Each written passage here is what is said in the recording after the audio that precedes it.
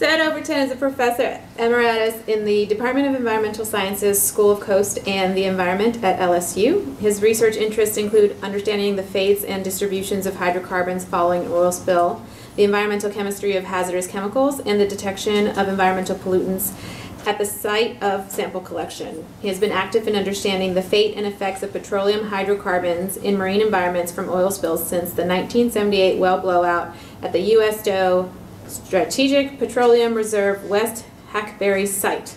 Wow. Did I say that right? Pretty Was it close?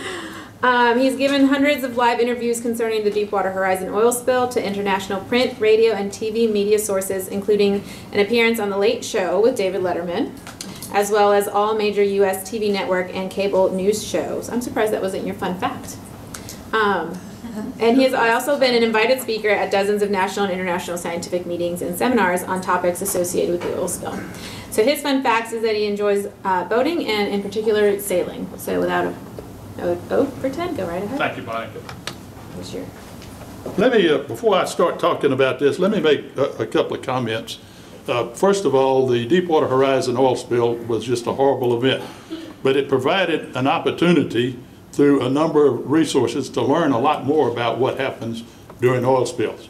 First of all, BP put up a, a heck of a lot of money, the GoMRI project.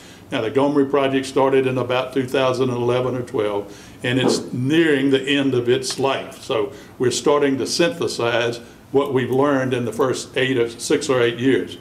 The other big impact was, of course, the, the natural resources damage assessment, which Lisa handled and did such a great job on. And, and that involved a collection of massive amount of sampling and data during the first couple of years of the spill. Now, since the case has now been settled, a lot of that information, all of the data that was publicly available, is getting turned into papers and information. So we're right now, after, after six or seven years after the spill, just starting to synthesize what we really know and don't know. So in the next two or three years, it's going to be really exciting to, to actually get down and see what we know and don't know, what we should do and shouldn't do the next time around. So there are a lot of, lots of information, and I certainly, what I'm going to present today, I want to uh, do what Jerry Galt says, we reserve the right to get smarter later. So, and, and I hope in the next couple of years, we're going to get a lot smarter because now, you know, that when you're in the middle of an event, it's hard to know the long-term outcomes. But we're beyond, well beyond the middle of the event, and we're now starting to get some idea of the good science. So let me, uh, let me just go through a, a couple of ideas here. Uh, I grew up uh, learning environmental chemistry with the concept of the chlorinated pesticides were the pollutant. You had heavy metals and organics, and everybody knew that DDT, DDT was the, the poster child. And what I want to point out is that oil is a lot different from DDT, and our concept of it as a pollutant ought to reflect the chemistry of oil, right? So, so what is oil? And, and I say this because in the spill, I can't tell you how many times people treated oil spills like you would treat a DDT spill, right? So uh, quickly, I'm going to try to explain the difference between DDT and oil spill. First of all, where did the oil come from? It came out of the atmosphere, came out of thin air, right? Through photosynthesis, and we ended up, uh, this is the carbon cycle, and we ended up uh, producing biomass. Now that's, this, this little, little signal, all of us are made out of that. All the bacteria, all of the living organisms, if you squeeze all the carbon and hydrogen and oxygen, you get approximately this formula. And of course, we produce all the oxygen we breathe. Now, this biomass dies, whether it's bacteria or the dinosaurs. In the ocean, of course, it's bacteria and plankton. It dies, it sinks down. This reaction to a chemist is called a reduction reaction. We're taking energy from outside, energy from the sun, kicking out the uh, oxygens and replacing it with hydrogen, right? Chemically, that's a reduction. The definition of a reduction reaction is replace oxygen with a, a, a more electronegative, I mean, replace hydrogen with a more electronegative element. That's oxidation, this is the reverse. This stuff goes down to the bottom and under temperature and pressure gets further reduced, right? So basically, you knock that oxygen off, and hydrocarbons generally don't have a lot of oxygen in their molecular structure. Uh, I know you're excited. And in the next slide, we're going to show you some of those molecular structures. So, so, so this is where the energy is stored, right? So the energy is stored in this, and of course, we bring it up. And why do we bring it up? For their energy, right? we turn it, oil is almost all used in, for fuels. So when we drive around, fly around, uh, boat around, we're, we're using that. Now, when these reduced hydrocarbons come to the surface, we can burn them, as we do in cars after it goes through the refining process, or there are naturally occurring microorganisms that convert this reduced form into back into biomass. And the biomass is, of course, another way of saying more bacteria, right? So as oil is degraded, we can get that energy from burning it, or you can get that energy for life. So we go through a reduction reaction to produce biomass. It gets further reduced, and then we use it in the oxidation. It goes back, and notice the products here are CO2, right? So that's what oil is, and it naturally goes through this cycle. Now, uh, I'm going to spend the next half an hour describing this, and I'll, I'll expect everybody to take notes. But uh, suffice it to say that this is what oil is made of. And there's some truisms about oil. First of all, oil contains thousands, maybe hundreds of thousands of individual compounds. So it is a really, really complex mixture of chemicals. But what we do know is that virtually all oils, regardless of where they came from, can contain these same structures. So if there's an oil spill in, in, in, uh, in off the north slope of Alaska, or in the Santa Barbara, or in the Gulf of Mexico, or off the East Coast, we know what's in oil spills. How many times did you hear people standing up in front of the media and said, we don't know what's in that oil? Bull, we know what's in oil. Oil is a natural product. It's coming out of the ground, and we know very accurately. What we also know is that oil from different sources contain different quantities of specific chemicals. So if it's a light oil, it contains more of the small molecular weight structures than a heavy oil. A heavy oil contains more of the high molecular weight structures, which are more viscous and have less vapor pressure. But all oil is more or less the same with the exception of that. Now, from this, from this area, sorry about that, from, from this, this zone down, we're looking at really large molecular weight compounds that are essentially insoluble. We're looking at asphalt. We're looking at what's in the residue that we can't turn into a useful product. Oil goes into a refinery, you turn uh, most of the components into something you can turn around and sell, and when you when you've got all that good stuff out, you, you got some gunk left over. You you heat that gunk up, you add some some uh, sand and some gravel, then you put it on the road, you got asphalt, right? Now, on there, getting ahead of myself.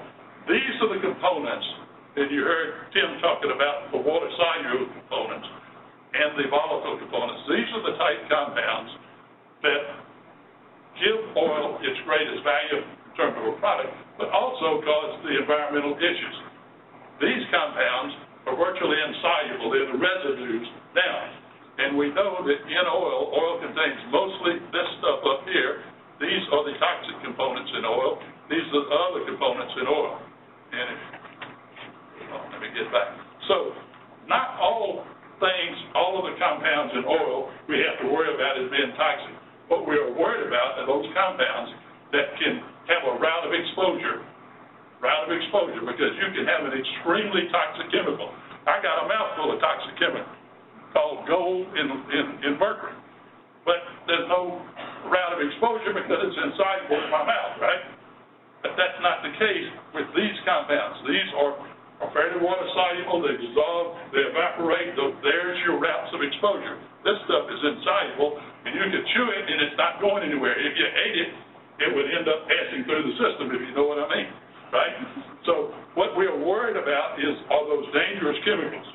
Now, let me, uh, let me, this, this just adds to this oxidation reduction. Oil is the reduced form of carbon, and it gets converted by natural processes, most of the time fairly quickly, into carbon dioxide. If it blobs together or it gets below the surface, Gene talked about the anoxic zone, it's not going to be a fast reaction. this reaction is very, very slow, so it does not change very much. So if you want to, you want to make oil spills go away, you keep it up in this zone of the environment. Don't let it get down in here. Keep it out of the anaerobic zone, keep it oxidized, and let Mother Nature handle her, her effort. What about compounds that do get exposed? This is an example of animals, some animals have natural enzyme systems that can, can oxidize oil, oxidize oil in the body. That means that, uh, that they are recognizing a pollutant and trying to, to make it more water soluble and excrete it. Uh, some don't have it, some do have it. So those of us that do have it, and that includes you and I, and all the finfish and, the- and the shrimps and the crab, uh, they have an uptake and there's a fairly rapid deposition. There's no bioaccumulation. Uh, they have an uptake, a deposition uptake, so you don't get bioaccumulation. Other organisms, like orchids and plants, uptake slow depuration, so you can get bioaccumulation, and then if that organism is eaten, biomagnification up the food chain, right? What happens during this uptake of depuration? That can cause a problem for that organism, right? So that makes them sick. What happens to a sick organism? A sick fish? You know, I'm, I just, I just, I'm a new granddad. And I, I joke around and I say, what do you call a granddad fish? Breakfast, right? They simply can't swim fast enough. They've lost their energy. And so the natural scheme of things is that damaged animals, be it by age or by oil spills, are going to be cleaned through the system. So this, this poor sick, I don't mean to imply that it didn't hurt that animal. That animal didn't cause ecosystem problems. It got cleaned out of the system. If that animal had not been exposed to oil, what would have happened? It would have grown old, just like Granddad Overton or Granddad McDonald, and, and been eaten out of the system. Now, thank God there's modern medicine, and that keeps us granddads going. But when you get to be my age, there's always something that ain't quite right, right? So, so this is a- another point about oil spills. The oil undergoes a lot of, of weathering, right? This is a complicated picture, but it's not really too bad. Oil in this environment here, it gets evaporated and dissolved quickly, turns to oil residues. That oil residues moves through the environment, it undergoes compositional changes. The chemical oil are lost, either lost by evaporation, degradation, or oxidation, either be bio or photooxidation. Uh, The quantities get less and less, and uh, what we do know is that weathering changes the original composition of the oil. So these dudes over here are your most dangerous form because you've got these, these volatile solubles. Once you get over to here, you're looking about components in oil that were in that bottom half. Remember I talked about the insolubles? Right? Now, that came from oil, but it's not nearly the same uh, toxicity or environmental damage as you've got up here, right? So as oil goes through the environment, it, it goes through those changes. And then we get to this slide about, but what, when, when all of the dust settles, how does oil cause environmental impacts? What are they? And of course, the big three are toxicity and route of exposure. You can't just look at toxicity. You can't look at the gold in my mouth or the mercury. You got to look at its route of exposure, right? Really, really important. Tim talked about it. Gene talked about it. Route of the toxicity and route of exposure in those large molecular weight structures simply don't have a route of exposure in most cases. Ah, always a case where a turtle is snapping at a little particle like that and some fiddler crab's digest it. In most cases, those compounds pass through the system. Always an exception to the rule. Don't, don't quote Overton and saying this, these things don't cause problems, but in general, they don't, right? Uh, now, so, so this is the biggie, and this is the one that worries you most, but oil also coats and smothers, whether it's coating leaves here and, and disruption the function of the, of the plant leaves, or coating this animal and, and causing it to lose its thermal digestion. Uh, a bird like this can't ingest the oil in preening, but smaller birds certainly will clean themselves, and what is that cleaning? route of exposure, right? So you got to keep your eye on the, on the ball, the route of exposure, not just the toxicity. A, a fairly small percentage of oil, four percent or so of fresh oil, contains the toxic compounds, the aromatics, the BTEX, the PAHs, and things like that, right? But all of the components in oil are part of the covering and coating, and almost all of the oils are, are degradable by natural organisms. And if you go into a, a, a, a, an environment like a coastal marsh where the oxygen levels are pretty low and it's the summertime and it's hot, and you add more biological oxygen demand, you're going to lower that the, the amount of the, the amount of oxygen available for normal living in that marsh down below where the, the, the normal residents, and that's another source of impact. So these are your, your big three if you want to find out what can oil do to my ecosystem, be it in the marsh, be it in the deep water or wherever. Now, there are a couple of other issues. Uh, certainly, uh, when you have oil degrading, you're producing a lot more bacteria that weren't normally there, right? So you've got this idea of carbon enrichment via the, the bacteria plankton. And, and sadly, of course, uh, this is where the SSCs come in. Some remedial activities can cause more damage than good. Uh, for example, it's not a good idea to leave these heavy soaked uh, uh booms, these, these uh, uh, absorption booms up here. What, what, it's heavy, it's rolling across the marsh, right? Where don't we want the oil to go? If oil is coating this marsh, as it is, right, we want to keep it on the surface. Don't push it under the surface. What happens when it goes under the surface? No oxygen, and it stays there until it gets disrupted again. So uh, part of the whole idea of responding to spills and understanding the science of it is to understand what is oil made of. Now, if this were a DDT spill, I'd be giving a different talk. DDT spills don't get oxidized easily. They are already oxidized. We have replaced, in DDT, we replaced carbon with a, I mean, a hydrogen, on carbon, we replaced the hydrogen with a element more than, more electronegative than hydrogen. Oxygen, natural process, chlorine, fluorine. The chlorofluorocarbons. What did we know about the chlorofluorocarbons? They went in the atmosphere. What happened when they got in the atmosphere? Nothing. They didn't go away. There were no natural mechanisms. So they ultimately floated up to the upper atmosphere, the stratosphere, and now we've got a whole different set of chemistries going on in the stratosphere. But in the troposphere where we live, chlorocarbons, DDT don't go away very fast. So you have to think about them as a different kind of pollutant. Oil spills, we know they react. We want to make them react. One way to make them react is take a glob of oil and break it into really small particles, right? A glob of oil can't degrade very fast because most of it is, is covered, uh, this, this molecule of oil is covered by a, a bunch of other molecules of oil. So we break it into little pieces, little parts. How do we do that? Well, we wash, we, we allow Mother Nature to wash her hands. We spray a soap on it. We call that soap detergent, right? So if you do it, as Tim pointed out, in the right spot, where you're not doing it near shore where you've got this dilution, you are helping Mother Nature do her job. So this is, this is part of understanding uh, the chemistry of oil spills. Uh, let's see, going the wrong way.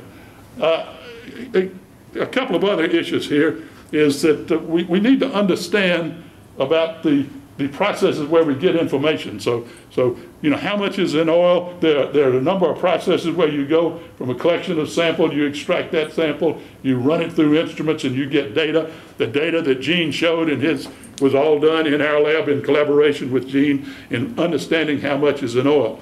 What we, what we found out was that uh, it's not just the ecosystem that we need to worry about. We need to worry about the folks that are involved, right? And there's two classes of people in addition to all the critters. That, and when I say critters, I'm talking about bacteria on up, right? Bacteria to whales, right? But what about the people? Well, you've got the responders who are actually working out here. And, and this stuff is uh, the vapors are coming up and it is just literally intolerable. These people were working and they were having to wear respirators 24 hours a day. They're not, they're not going to work and come home and watch TV at night. They're living out there. So it's a big deal. So exposure of toxic chemicals in oil, and there are, which ones are they?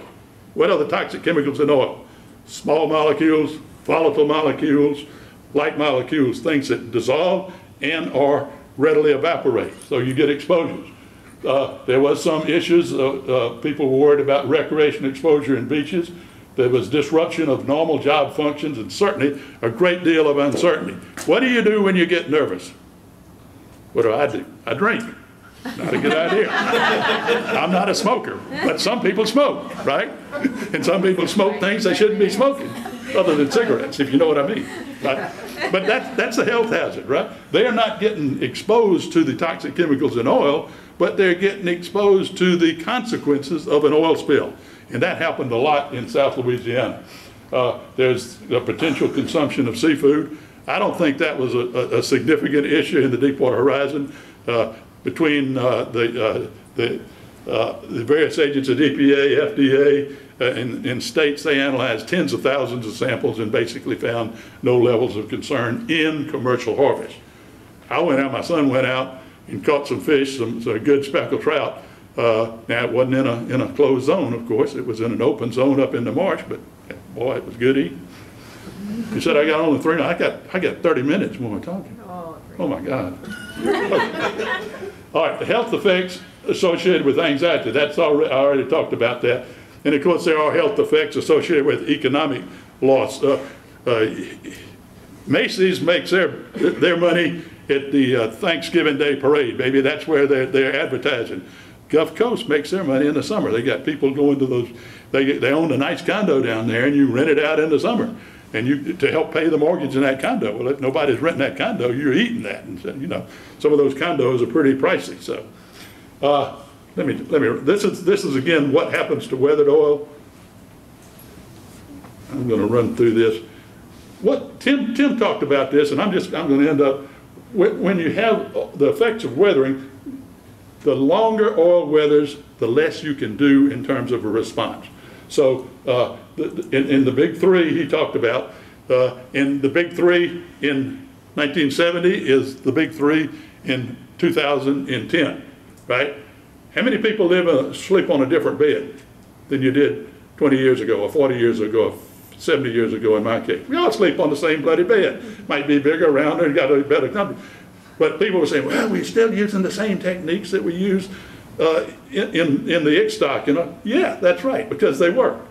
These are the options, and the longer you wait, the less effective those options are gonna be. That's part of the science. You gotta make a decision, and, and there's a, there's a window of opportunity where these things work. Oh, uh, and we want to take that window and make it work very quickly, right? So uh, uh, what, what Tim pointed out, and I'm, I wanted to concur in this, is that uh, use of dispersants, it- it's really in a big oil spill, in a massive oil spill, you have a route of encounter. Uh, A small, a small a boat carrying some sort of a boom behind it is only going to encounter a fairly narrow swath of oil.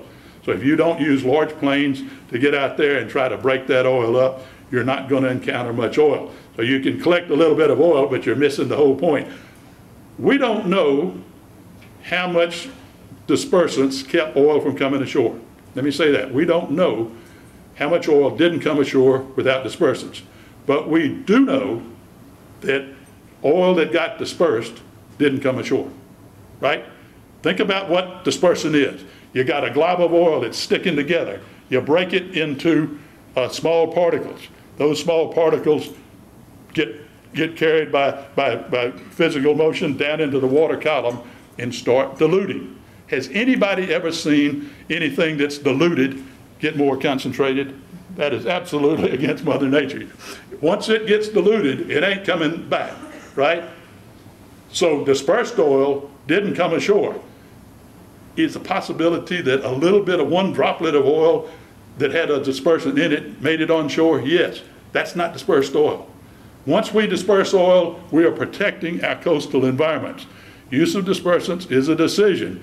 We are causing potentially more damage in the deep water relative to what we could occur. It is a, it's one of these, I got a bad decision here, you're in a wreck, right? What are you gonna do? You're gonna, gonna, uh, uh, uh, put a tourniquet around the arm or let the guy bleed to death, right? So neither one of the, putting a tourniquet around, around the blood supply of your legs, not a great idea because the toes, the toes need blood too, right? But you gotta do something. And in my opinion, we need access to all of these capabilities. And uh, I guess my one minute is up. Got one Okay. more. One more. Oh, I, I probably said enough, I probably said too much already. Let's just end it with that. Now, We will all be happy to answer questions. Thank you.